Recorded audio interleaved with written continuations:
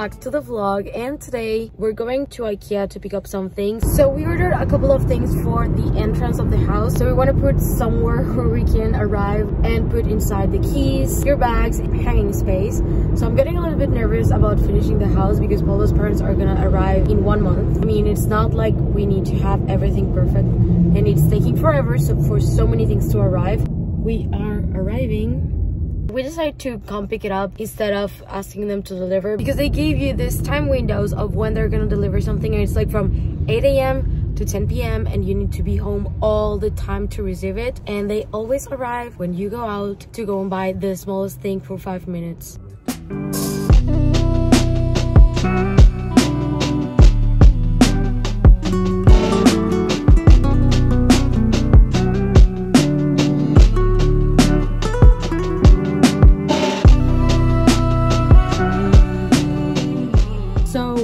Not here. He went to leave the cart. I'm gonna do uh, what's in my bag for you. And this is my Picotin in the 18 size in Nata Clemence leather with palladium hardware. But I'm starting to use and love my Constance Slim. I'm using it as a wallet right now, but I used it the other day as a mini bag with a crossbody strap and I really loved it. So inside it has cash, cards, a hair clip and my subway card and my keys. So polo is back. We are going home and hopefully we can go to sephora. I run out of a ton of my makeup and i've been really not wanting to go because it's always so full. I go to the one that it's like in paseo de gracia. So there's always a ton of people and a lot of lines but i really need to go now. So that's the plan for today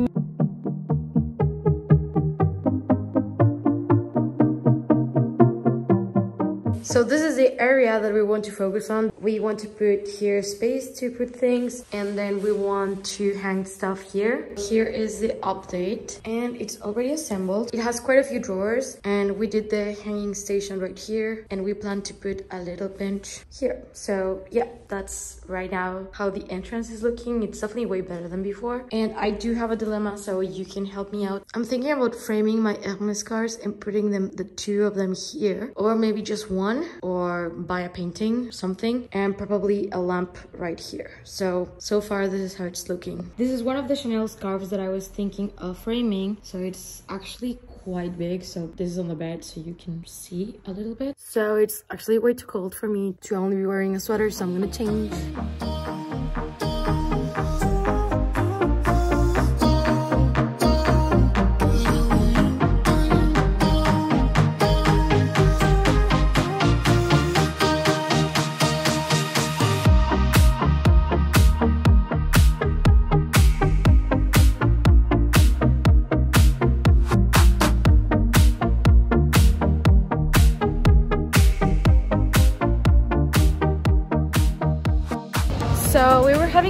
but Margot, my friend, called us and she needs help because she just received a wine cellar to be a little bit more exact and she wants help to carry it upstairs so we're going.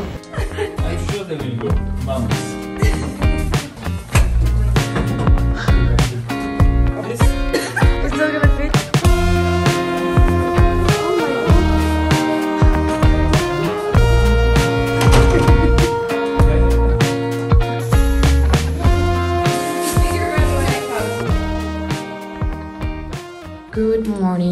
So we now have another coffee machine, but let's have our morning coffee.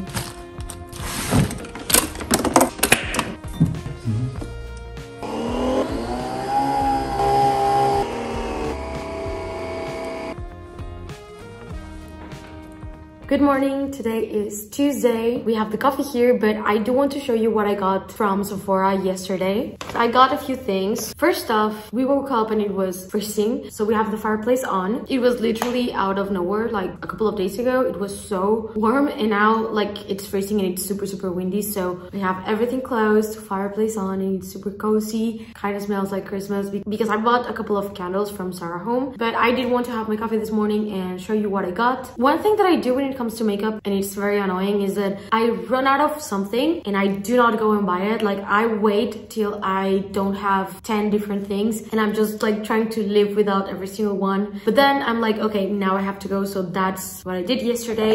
So first, I always get questions about what I use for my hair and these are my go-to shampoo and conditioner from Moroccanoil. So everything I'm to try to link it in the description box down below. I actually ran out of this ones before we came to Spain. So it was time for me to get them. This is the best dry shampoo that I can recommend you like ever. It doesn't leave your hair like super sticky. Like I'm trying to not wash my hair every single day. I used to wash my hair every single day, but it dries it up so much and I have a very oily scalp. So this has been an amazing solution for me because it leaves my hair super soft and it looks very fresh after this. So I'm trying to wash my hair every two, three days, depends on what I've been doing.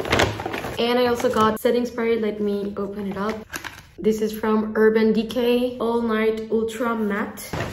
The next one is, I actually went in for concealer, but I went out with foundation and this is from Rare Beauty. I don't really like using foundation because I just feel like it makes you look a little bit cakey. So I've been using the Charlotte Tilbury Flawless Filter, but sometimes it makes me look super shiny. So I wanted to try something a little less like, I don't know how to explain it. So I'm gonna try this one and I got it in the shade 210N. You can see here. So this is foundation and I do like Rare Beauty a lot. So let's see how I like this one. I also got a new blush. I usually use one from Chanel, but I wanted to try another one because mine is liquid. So this is like a little bit more creamy. And I wanted something that was not that like pink more like a little bit like darker so it looks like when you go to the beach or something like that and it's not just like bright bright pink and you you open it up like this. I don't want to blind you, but we can test this one out. It has a very pretty tint to it. In my opinion, it looks very, very natural. So this one is in the shade Nearly Neutral. In case anyone wants to try it out, I really like it. I need brown pencil because I ran out of the other one. So if anyone has never noticed, I have this eyebrow a little bit fuller than this one. So I hate my eyebrows. So I always have to do them because if not, I feel like I look weird. So basically pretty much all Rare and Fenty Beauty. I never use a ton because I don't like when they look like too like painted on. I just like use them with little pencils to draw a little bit of hairs when it's not so full, just like in place. This is also from Fenty and this one, I wanted to try a new type of contour. The one that I used to use was powder and I wanted to try a little bit more liquid. I wanted the Charlotte Tilbury one, but it was sold out. So uh, I don't want to put much makeup on today. I tried this one at the store and it was really good. And I like that this one will not give like an orange undertone to my skin. And I think the last one is this, that I don't know if I like it because I usually buy the original one, but they run out of it. So I got this version and I think this one might be too pink. And I use this one as liquid blush and also kind of like lip tint. And this is the Go-Go one. So I'm going to show you what I mean. Like I'm going to keep it because after a while it does die down, but I mean, I just used just a tiny bit, but if I use a lot, it's just too powerful. It's freebies and that's it. As for the rest of the day, I think that today we're gonna receive my vanity. So we're gonna assemble that and we're gonna put it in the closet. So let's work with the vanity. So I ordered this one from Westwing.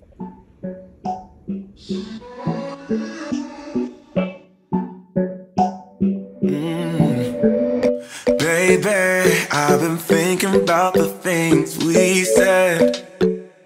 Oh, yeah.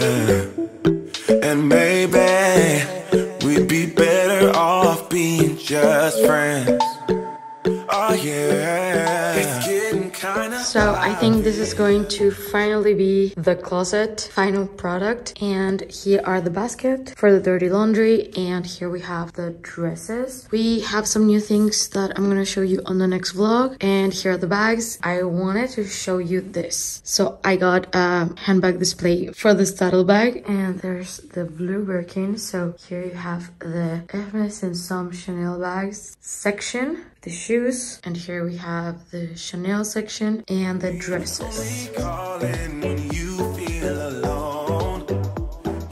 Hey guys, good morning. So I'm not sure how much I actually vlogged yesterday. So I just woke up. I'm gonna have some coffee and today we're gonna chat a little bit because yesterday was such a bad day. Like we're gonna talk about it. But today I wanted to like relax a little bit and have like a reset day. I tend to only have coffee and maybe like a croissant or something like that. So today I just want to treat myself and go and get some pancakes. The plan today is I'm just gonna finish my coffee and then we're gonna go have brunch. Many of you recommended me a place that is called Funky Baker. So we wanna go and try it out. And there's one that is very close to a food market. We usually go to another food market, but we wanted to go and check this one out because it seems to pretty much have everything. Something that I love since we moved is that we don't go to the supermarket anymore and it's just this very beautiful markets that have everything. They have plants, they have flowers, they have Italian food, Asian food, of course, Spanish food. So we want to go and grab some things. And I'm also very excited about having brunch. But in two, three days, we start Vlogmas number one. So you will have a lot of vlogs coming. I promise. So right now, let's get ready. Let's go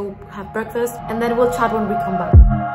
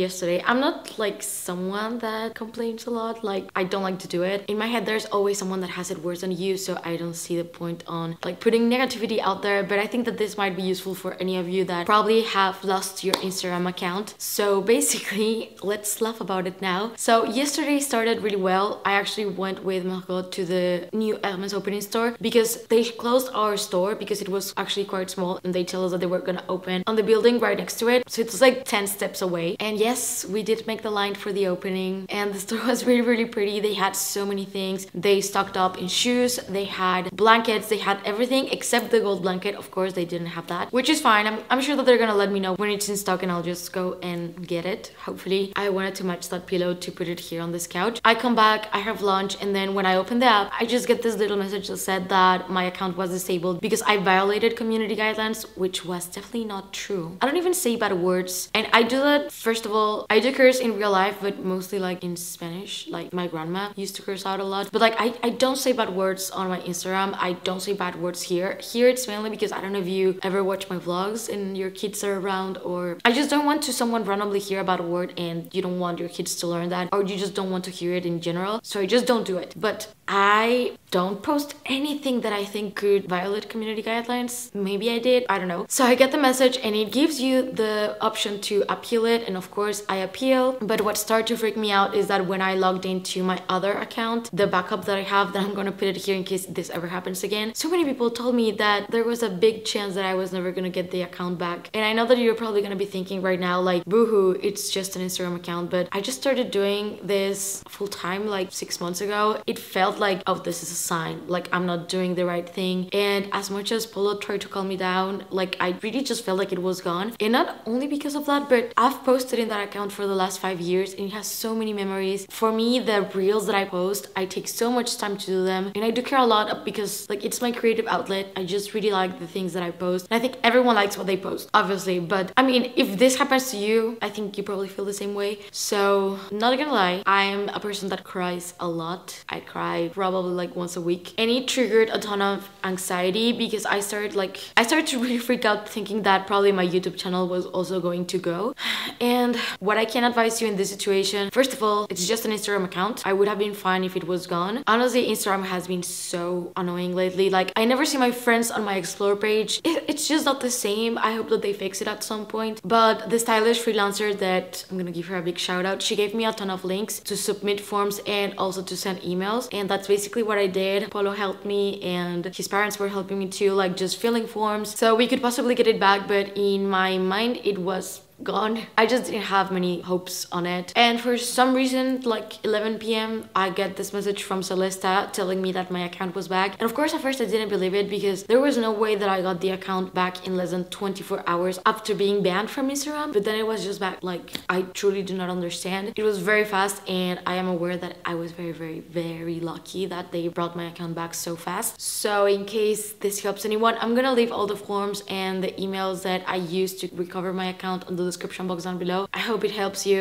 I think it's just up to luck that someone actually gets to see the email and just decides that you didn't violate community guidelines. But it also comes to show me a little bit more about like, yes, I was sad and I was stressed because of course I would have cared if it was gone forever a lot. But I realized that I just like YouTube way more because I was like, oh, it's fine. I still have my YouTube channel and I've been really, really loving creating here and especially with vlogs. I think it has changed a little bit my way to see my YouTube channel. Like before I just had like a few topics and now I don't know this feels like really good even for my mental health and I love editing like being able to be like creative and I love editing videos. It's something that I would do since I was really really young. I would edit videos for my friends when it was their birthdays and if there was like a project in school I was always the one who was like I love editing on iMovie and now I use Final Cut which is a little bit more complex but I just love learning like new things on how to color correct, how to fix the lighting or sound. I just really like doing it. So that was the first thing that happened yesterday. The rest of them were like just tiny little things that tend to add up. So I ended up not really vlogging that much. So I think this is the last that I'm gonna vlog because I need to run and start doing Vlogmas number one. So yes, you're gonna have Vlogmas. I'm gonna explain a little bit what type of Vlogmas we are getting. So I honestly don't know. I don't talk to other content creators other than my two friends that I have. I truthfully want to know how people manage to do like daily Vlogmas. How can you like film and edit everything on the same day? Like, do you have time for anything else? And for us, we're gonna have like family over for the holidays for over 10 days. So I hope that you understand that for me right now, it's not very realistic to film every day and edit every day. And I do not want to pay an editor. My favorite part about YouTube is probably editing way more than being on camera, choosing the music and the cuts being on beat, even like the fonts and color correction and everything. For me, it's just like what makes it something that I wanted to do. Like if I have the time, I would like to be an editor for other YouTubers. But for me, hiring someone to edit my videos doesn't seem something that I want to do. I don't think that I would be happy, not because it's not a good work, just because it's not what I would have done probably. I don't know. Maybe it's something that I can consider for next year. Maybe next year in Vlogmas, I can hire an editor and test it out. But for now, I just don't think that it's something that I want to do. So for me, what right now seems realistic is to do weekly Vlogmas. You're gonna see everything. We're gonna do Christmas shopping for gifts. I do want to show you how Barcelona looks with all the lights. Like it looks so, so beautiful. So yeah, so it's gonna be a vlog per week and a sit down video. And I wanted to ask you for input. So I've been feeling a little bit burnout. Like I usually don't talk about this stuff, but sometimes this feel overwhelming because I feel like I cannot take like a week off. And I know that I can if I wanted to, but I also don't think that it's going to be the solution. I'm just having a hard time knowing what you guys want to see from my channel, especially when it comes to the sit down videos. I do have some videos planned that I wanted to film. So now that have the Birkin 30, I want to do a Birkin 30 versus Birkin 25. So I'm sitting down to film that sometime soon after I've used the 30 a couple of more times. But at the end of the day, what matters is what you want to see. So I would just love to know what you would like to see like for the rest of the year and probably next year too. And I think this is it. I'm gonna start working a little bit on Vlogmas and of course edit this video. I know that it looks very bright, but like in an hour or two, it's gonna be nighttime because here it's dark at 5. So I think this is it. Thank you so much for watching this vlog. If you're new to my channel, please consider subscribing. I would really appreciate that and click the notification bell down below so you don't miss any of my videos. And if you're not done watching my channel, I'm gonna leave you two videos right here in case you want to check them out. Thank you and see you on the next one. Bye!